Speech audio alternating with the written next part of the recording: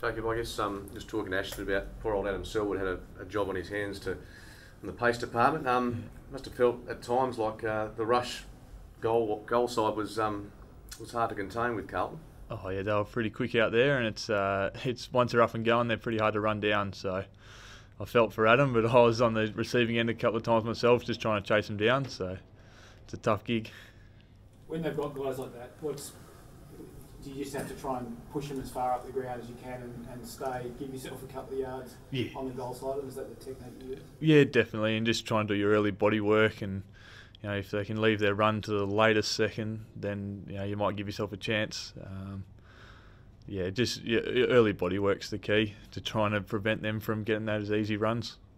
Is there a feel? Um, obviously, you've only played a few games, so you yeah. probably haven't played on all the small forwards. But is there a feeling that those two are the, the, the quickest going out? Oh, they're the quickest by far that I've played against. Yeah, for sure. Um, I know it's early in the week. Have you spoken to Darren about whether he's likely to play against Port. I mean, obviously, his inclusion or exclusion is a, pretty important makeup of your defence. Yeah, it will be. Um, yeah, if he doesn't play, it'll be a big loss. But I he's walking around fine downstairs at the moment, so I'd be, uh, I'd be saying he'll be ready to go. Was that pretty inspirational to see him stay out there when he pretty much couldn't lift his arm? Oh, absolutely. Trying to take marks where he couldn't lift his arm, and uh, even just blocks and things like that where he didn't even shirk the issue. So uh, he's a great leader. Just on the a lot of the goals that came from you know about the centre line wing, yeah. the press that you guys put in place, uh, and they just run off that. You, you sought to rectify um, those errors, or do you stick to your game plan? Oh, the team meeting will be. Uh, you know, we'll have a good look at all that stuff. Um, that's coming up later, the Savos. So, and then we'll try and implement it during the week and just fine tune little things where we went wrong because we're not far off, but we're uh, we're getting there do you back yourselves with, with a lot of things and, and the way things are go, have been going this season, or how much do you need to change and you know being one and three? Yeah, oh, there's no loss of belief. I, uh, I still think we've we got the we got the team to do it, and uh, yeah, I think we're we're still around the mark. How are you finding life in your second full year at AFL level?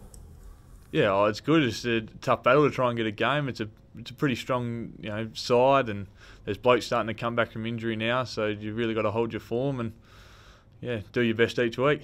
Are you learning much from guys like Darren Glass? Oh, absolutely. Yeah, Darren Glass. Shannon Hurn's a big help. He plays on those small forwards as well, and Adam and Butts. Um, yeah, everyone's there to try and make you better, a better footballer, and if you're a better footballer, you have a better side. And you changed your number during the off season. Gary Ablett said uh, a couple of weeks back that he decided not to take his father's yeah. number, but you have. Can you tell us the reason why?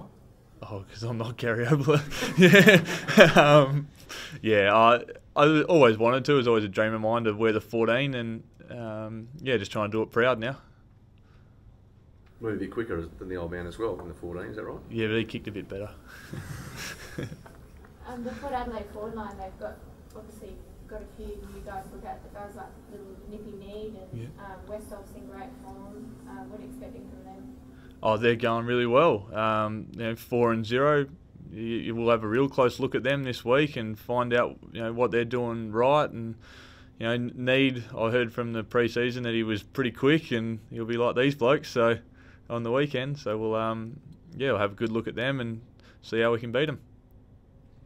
Do you have to take the stuffing out of them a bit early? You think this week, Jacob, like four and four and zero, yeah. and they're going to be playing at home a, good start, maybe even more important than normal. Take the crowd out of it and try and take a bit of the wind out of the sails.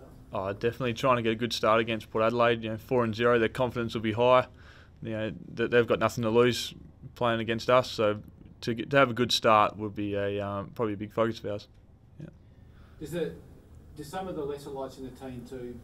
Have you talked about maybe having to lift a bit? You, you do have players out, like you've got four or five key players out you have to try and keep your win loss respectable until you get your, your, your full team back. Is there sort of a any sort of concerted push to make sure you you know you your younger players lift a little bit to get you over the line and keep keep you in the hunt for a good spot in the eight at the end of the year?